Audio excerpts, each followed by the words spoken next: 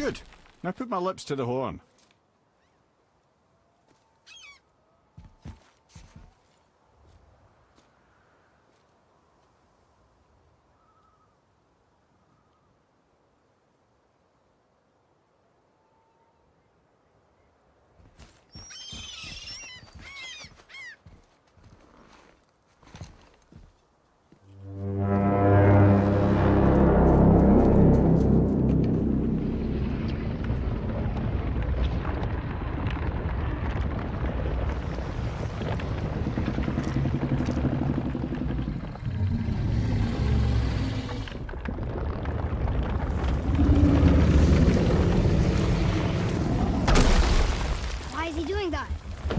Odin had that statue made in honor of Thor.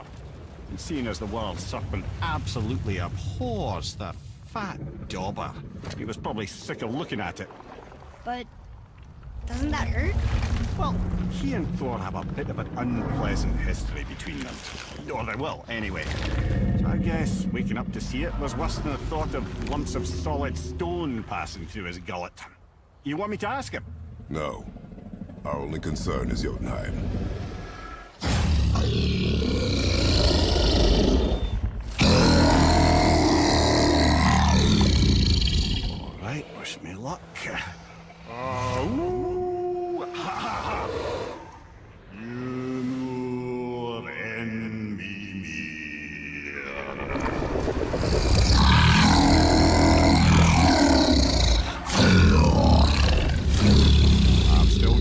Lads. He remembers me.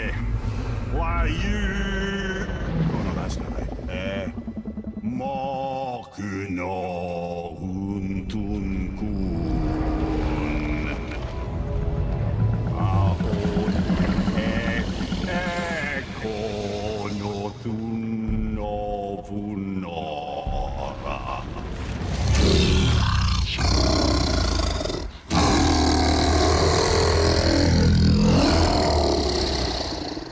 knows the pain of your loss.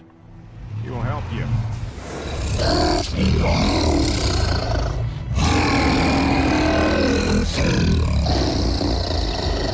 Efniun Folkur. Curious. What is it? Oh, nothing to be concerned about. What is he doing? Making sure we're headed in the right direction. Listen closely now. We need two things to get us into the land of the giants. First, we need to learn the travel rune that opens realm travel to Jotunheim. Second, we need to carve that rune into the special gateway. That one on the peak where we first met you? Correct.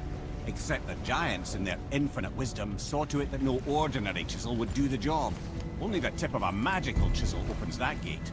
Luckily, I know where it is, and it's not far. He looked kind of mad for a moment there.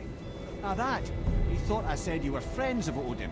You'll forgive me. I've never spoken the ancient tongue sober.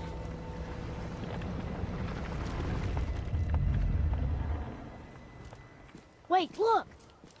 The water's dropped even further. You can see more of the realm towers and statues. I haven't seen new places to explore along the shore. Where is this chisel? Find me a boat, and we'll go from there.